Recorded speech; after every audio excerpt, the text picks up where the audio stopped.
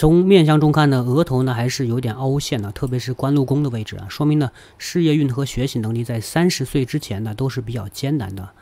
眉毛呢也是比较杂乱啊，在遇见事情的时候呢，没有很好的用冷静的情绪去面对啊，观察能力也不太好，中间比较凹陷，性格固执倔强啊，不懂得管理情绪。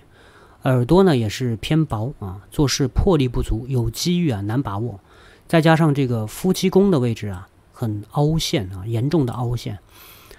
这个外加上这个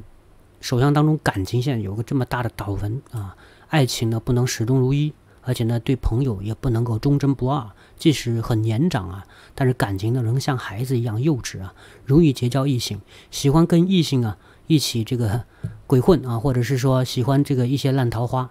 由于感情的太过复杂，所以会使其事业也会受到一些的影响啊，一生啊很难成功。